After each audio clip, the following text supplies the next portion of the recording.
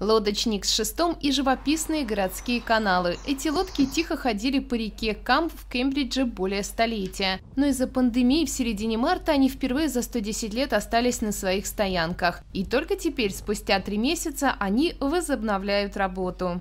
Правда, вернуться к обычному ритму работы пока невозможно. В стране действуют правила социального дистанцирования, а это означает, что покатать группы туристов на лодках не получится.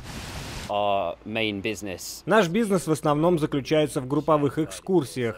Разные группы людей делят лодку, и их катают с шестом, рассказывают об истории университета и колледжей. Но из-за социального дистанцирования мы не сможем возить несколько групп вместе. Представители лодочных компаний говорят, что их доходы из-за карантина в этом сезоне сократятся на 50-80%. Пандемия распространилась на Великобританию в марте, и именно тогда мы начинаем наш летний сезон, который приносит нам основной годовой доход.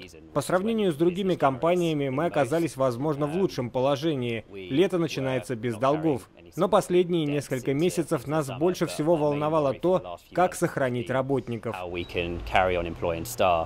С 12 июня лодки можно нанимать индивидуально. Также катание нужно бронировать предварительно.